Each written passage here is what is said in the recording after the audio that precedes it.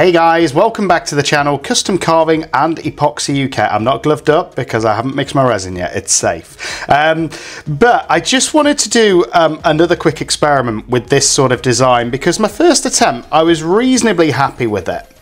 Um, couple of things I would have liked different. So I would have liked the white to have come out further. So in order to do that, I need to start, I think, lower on this design.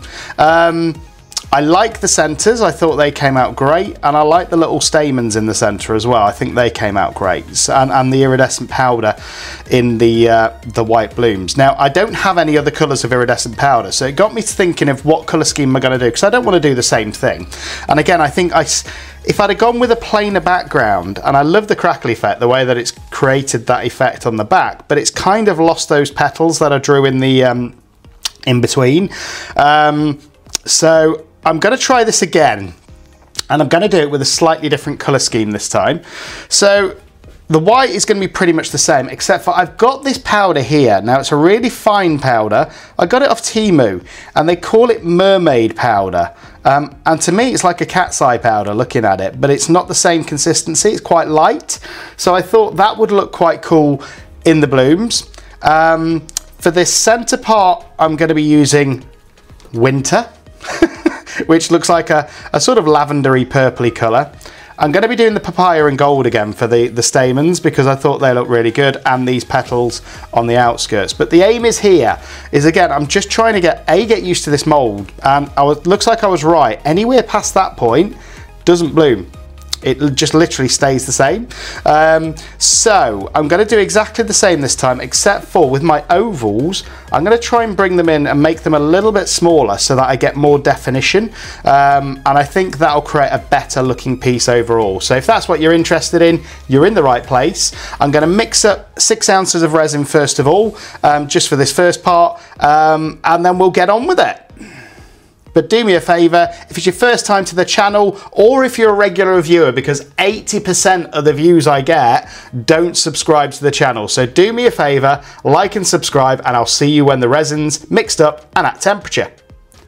So here we go guys, and we're back. Now, it's not quite up to temperature yet, but I want to show you what I've done. So Resin's at about 33. I want it to get to about 36 this time, just to be that little bit thicker, hopefully to give me a little bit more control.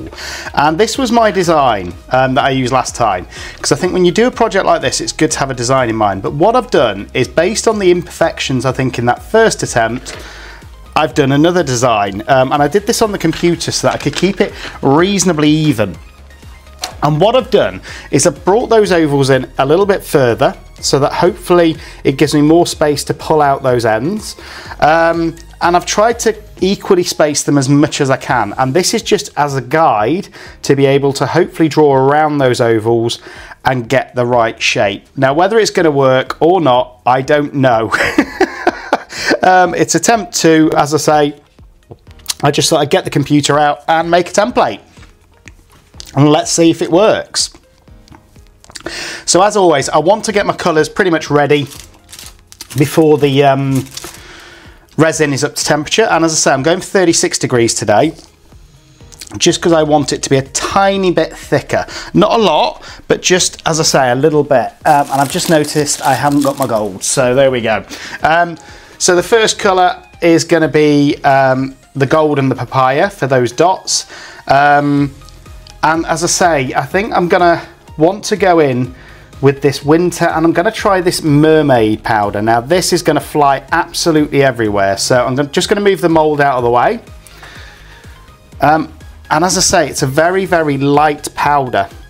Now I'm going to put some of this in, in with the white bloom as well and hopefully it's going to give us that glisten coming through the bloom um, as well. So I'm going to put a tiny bit in to my white and literally that is what I'm talking about when I say a tiny bit in there. That's going to be with my bloom paste. And then a little bit more, again, not going overboard, for those centres in that one. And you don't get a lot of this in a pot, and I think it cost me about six, seven quid off Temu, so it's not a cheap one. um, so I'm just hoping it works and I don't know how thick it's going to look and I want these circles that I put in to be quite thick. So I'm still going to add some normal mica powder and I've got this winter which is like a lavendery colour which I've never used before but I thought that would go nice mixing it with this mermaid. And as you can see it looks very similar in colour but hopefully we'll get two different effects. So again just a little bit of this not too much on the end of my popsicle stick it's hard to show you guys when I do this but literally and then it falls off the stick. About that much is what I'm looking at. So that is hopefully going to give me a really nice colour for those centre circles and some dots. Um, and then we'll see what happens with these outer ones, what colour I'm going to do those. Um, I like to still have an element of creativity where I do it as I do it rather than planning absolutely everything out. Um, as you've seen in previous projects, sometimes it works, sometimes it doesn't. So this is that papaya for the orange. Again, decent amount going into the pot with just a tiny bit of gold. Um, just because I think it gives it a better shimmer and this is the gold I'm going to use. It's that um, metallic powder. When I say a tiny bit, I still want the orange to be the main colour. So with the gold, literally, he says. Part of the struggle for me is getting the right amount of mica. But literally half that probably. Tap it in. And there we go. And that'll be my colours. Um, so you've seen there, I've mixed up four different micas essentially um, to do this. Um, and don't be afraid to do that because that's where some of your best results come from. It gives you your own unique colours um, and I think that's part of the fun. This is my ocean white and again I'm just going to put one drop in my white. This is where things start to get messy usually. One drop. Oh, it's actually gone on the stick and a half. One and a half has gone in there and I think that'll be fine. Just going to wipe my gloves because that ocean white bottle is always the one that gets me messy. And then again, because I've got it at the side, I've got my white sinker from Let's Resin. I'm just going to put a few drops of that in. One, two, three, four, five, six. And then that should be my colours ready to mix. Always make sure you've got a reasonably level surface as well when you're doing anything technical, guys, whether it's blooms, whether it's crackly effect, anything like that, because if you haven't, it won't work and it will shift. And there's nothing more disappointing than that when the whole thing shifts. And then I've really got to think about the background colours, because I think for me, that slightly spoiled the last one, the background. Um, I think it took away from those second layer of petals that I put in behind the, the, the Lily Star one. So I've really got to think about that on this one. Um, and, and think about what background I'm going to use. It was almost too much, I felt. So there we go. We're at 35.6, which means it's heating up quicker than I thought. So I'm going to pour my colours first. Again, around about half a pot to three quarters.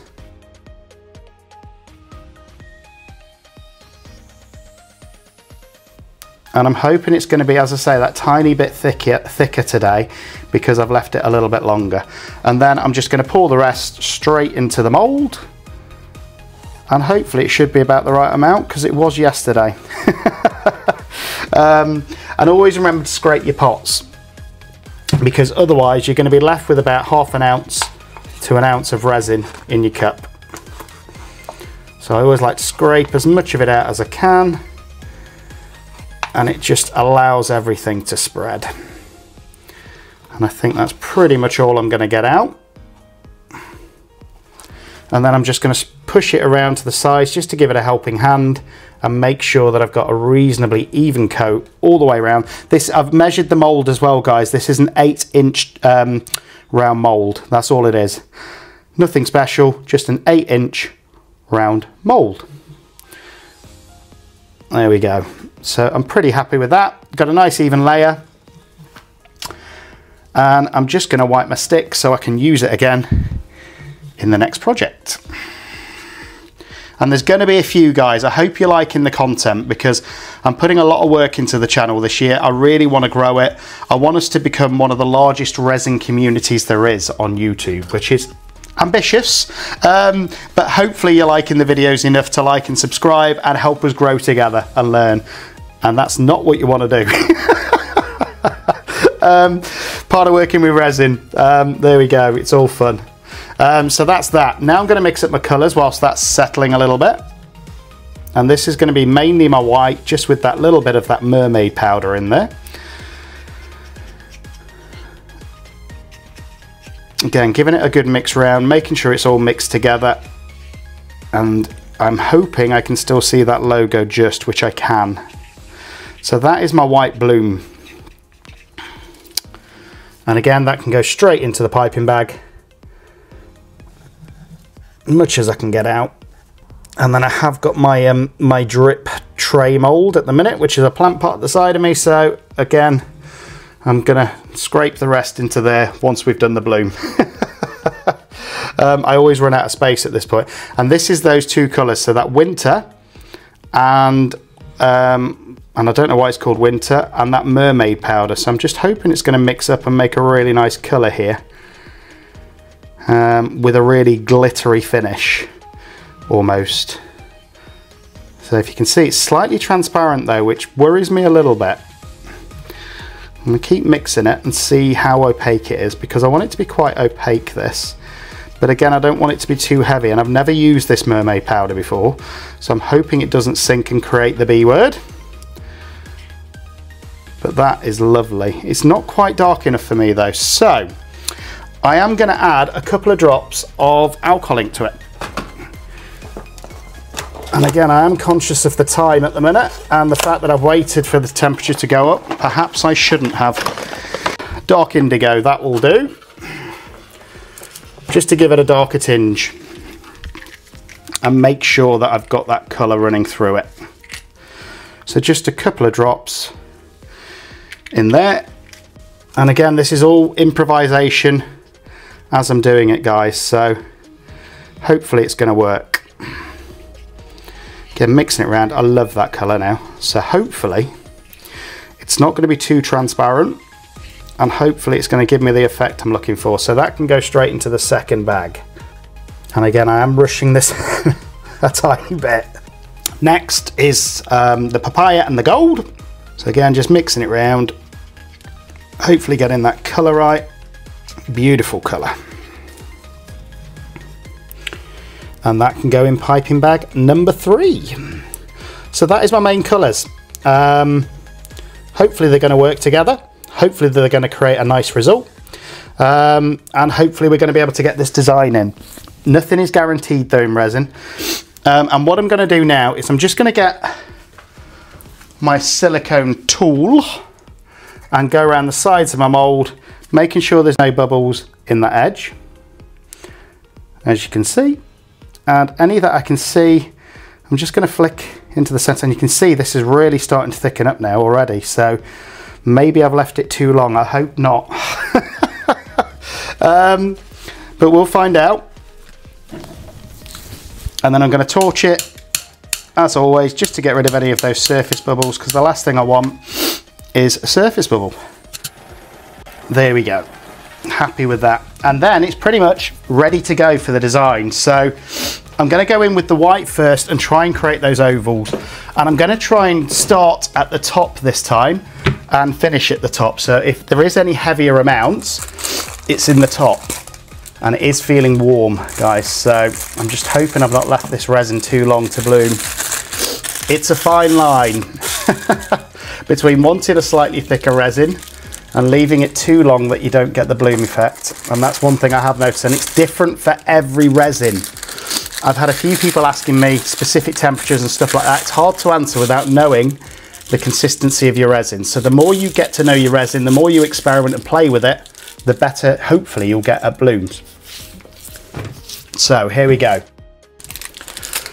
I'm going to start with the white and again the plan is to pipe around the outer edge of those ovals and as I say, it's only a plan at this point. So I want it to be about two to three mil where I'm cutting off the piping bag. And I want it to be automatically just dripping out the bag, which it is now. So happy with that. And I'm gonna try and start at the top of each oval and then work my way around like so.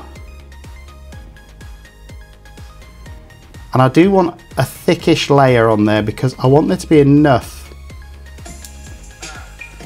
for it to go around. And sorry about that guys, my, my sound system just decided to switch itself on. But uh, there we go, always fun when you're recording. And again, I'm going to start at the top and hopefully this is just going to naturally flow out around that guide. I want it to be reasonably even, but you've got to give it enough so that it will spread as well. That's where some people go wrong, I think, with blooms, is there has to be enough of the white to actually spread. If you don't put enough in, you're not going to get the bloom effect. And again, I know these aren't perfect, guys. I'm still working on the piping skills, if I'm being completely honest. There we go. And I think that's been reasonably successful compared to attempt number one.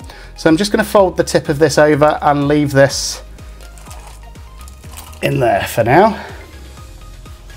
Now, um, at this point, if you can see any bits that might blob, just work them around. And I've just used the words, so we're probably going to get that now. I was determined not to use it. Any bits that just look a little bit heavier, just pull them around. And I don't think there's that many actually.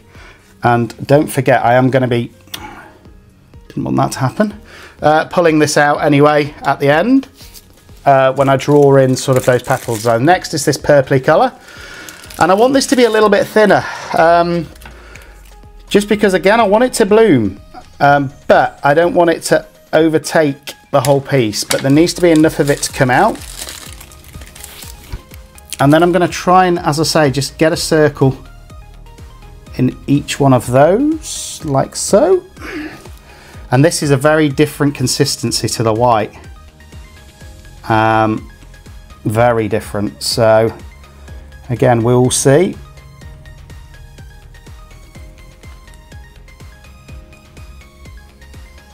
I'm hoping it's still going to look nice. But as I say, I'm noticing that this is a different consistency to the white. But I'm hoping it'll be okay. So that is the purple for this point. Next bit is the gold or orange, whatever you want to call it. And again, I want this to be a little bit smaller than what I've already done. And in fact, what I'm going to do before I do that is there's a couple of bits here that I'm just a little bit concerned about blobbing. And I've used the word again. uh, so I'm just going to pull them round. Again, there was this tiny bit here, which I think was a little bit much. And again, just be gentle when you do this, guys, because the last thing you want to do is push it down because that's going to, if anything, encourage that that B word. But I'm liking the colour. It's definitely a lighter colour than I thought it was going to be. And again, for the gold, I'm going to probably go about half the, the amount on the piping bag because I want it deliberately to be thinner. And I want it to naturally drip out the bag, hopefully, he says. Now this is the bit that will take a little bit of time. So I'm going to try and put three dots in each of these circles and I want it to naturally just fall out of the bag like that.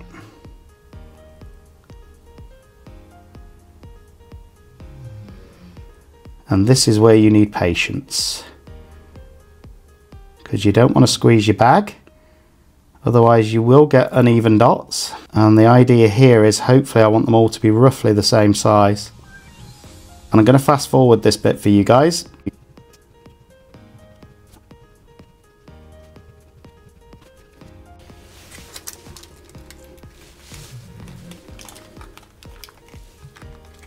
Right, gonna go back in with a few more colours in a minute. But what I wanna do first is just pull out this outer ring on them all. Just to really bring those petals out. Before everything starts to fully bloom. And as I say, it might not work, guys. I'm just really hoping it does. Um, so that's pretty much those done. Now I'm going to get my purple back out and hope it's not too heavy at the minute. I just want to try and get a little line going through here as well. So I'm going to use a stick and I'm just going to take hopefully a few dots of this, load up my stick and see if I can get a few dots in the center by doing that. And again, it's the same thing. I'm just going to wait for it to drop and fall off the stick. So I'm going to fast forward this part as well for you guys. So now with these ones, I'm going to pull them both in and out is the plan. So I'm going to go all the way in, like so. In fact, no, I'm not. I love that design. I've just found a new design that I like. So again, just going through the center of them. All the way in like that. That looks amazing. Um, so there we go. I've just found a, a new design that I quite like. Now can I remember it for any future projects? That's the question. And the light has just run out.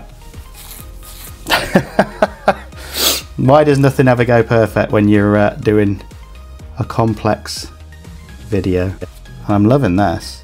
As I say, I'm just trying to be careful not to ruin the canna lilies though that I've already put in. All those dots in the centre. And then I've got an idea of what I'm going to do with these as well in a second. But yeah, I think they look really cool. And then what I'm going to do is just, again, use my tool and just slightly pull out the edge like so for each one of these. And this is certainly my most intricate design. I'm glad I've got it on camera hopefully, if it works. he says. It's a bit premature, but um, I'm loving that.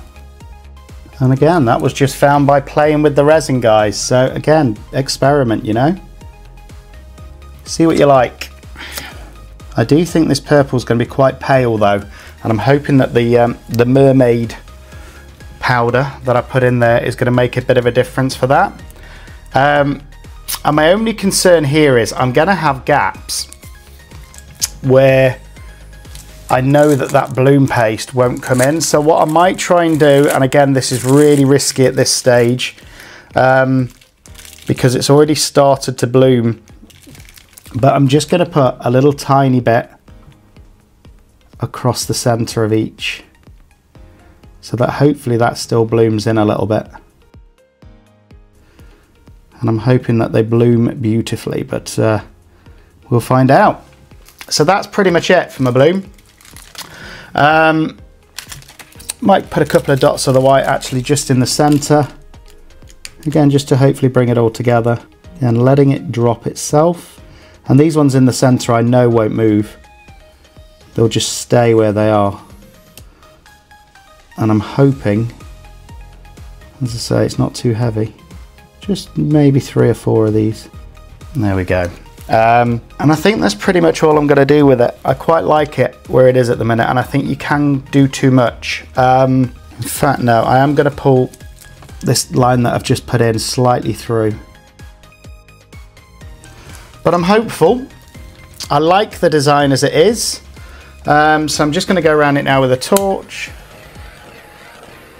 And that'll be it, you know hopefully it's going to continue blooming and give us a nice pretty flower bloom design. But you never know. It could all go horribly wrong um, but I'm liking that at the minute. And then my spares again I've got my um, drip plant pot I call it to the side of me. So again I'm just gonna pour all of the spares into that. And you can see, look how thick it's getting now. So I've just made a quick decision guys as well. Before I put the backing on, I want to put one drop of alcohol ink in that center just to sort of darken that center a little bit. Again, I'm experimenting here and I'm just going to put one drop And hopefully that should give me a darker centre regardless of what backing I put on.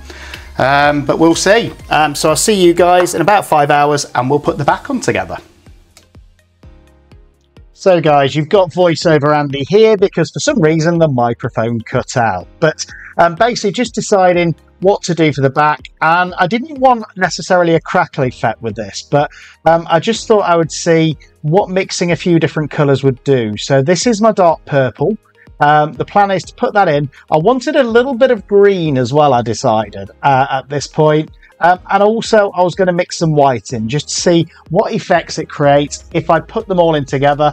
I was also going to almost see if I could do a crackle effect without putting that transparent layer on first, because for me, that's always a bit of a pain. So I'm going to try and puddle pour it and just put a bit of that clear in the center and then just puddle pour the colors into it and see what happens.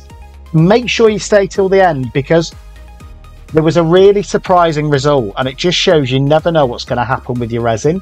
So again, just getting those colours ready. Metallic purple, going to put a bit of chameleon powder in it as well. And I've got this pearlescent white as well. So just mixing those colours up. Around about half a cup for each. And then we're going to pour.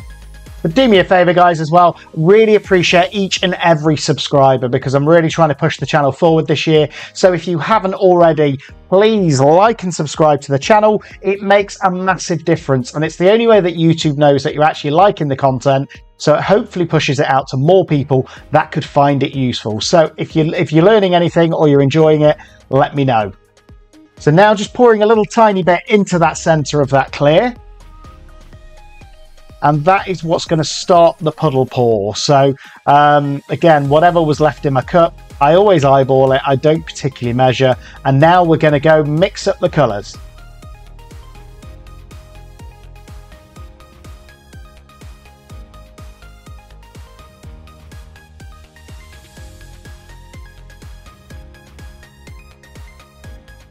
Again, just scraping everything out the cup because I don't like to waste resin. Wherever I can avoid it, um, I like to make sure that I'm not wasting any. So the first one I'm going to mix up uh, is the um, the dark blue. Sorry, I said purple earlier, isn't it? It's a metallic blue, this one. It's quite a thick paste, but again, this is the way I measure it, is just stir it around. Whatever's left on the stick is what goes in the cup.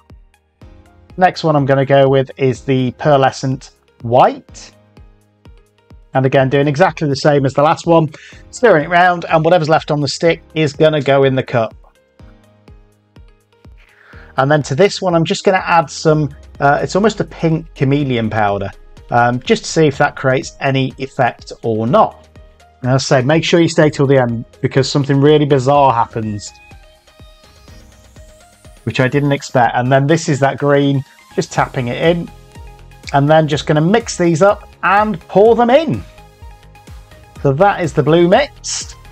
Really nice metallic colour. Been using it in some of my waves uh, recently as well with my ocean art and it comes out lovely. This is that um, pearlescent white and the chameleon powder. Almost creates a, a little bit of a, a, faintish pink. And then for that green. And at this point I decided if I wanted um, any green showing. I wanted it really to be at the edge uh, rather than in the center. So that's why I'm going to go with this one first. Again, just making, making sure it's thoroughly mixed. And then I'm just going to pour it straight into that center and uh, do a puddle pour. And all of it's going in. Hopefully then the other colors will push it all the way to the outskirts. So that is the green. Next going in with the blue. In fact, no, changed my mind. Going in with the pearlescent whitey pink. And I'm just going to puddle pour this in layers. So now going in with the blue.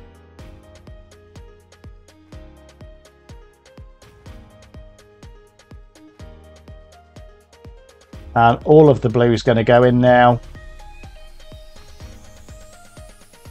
And trying to give it a bit of height, and that just really creates that pushing effect. Um, and then I'm going to do exactly the same with the whitey pink pearlescent colour and hope it pushes it all the way out to the edge. As I say, make sure you stay tuned till the end because something that's never happened to me before happens when this cures. and then that is pretty much it. I'm going to torch it now um, and let it do its thing. And as I say, it does do something very, very interesting.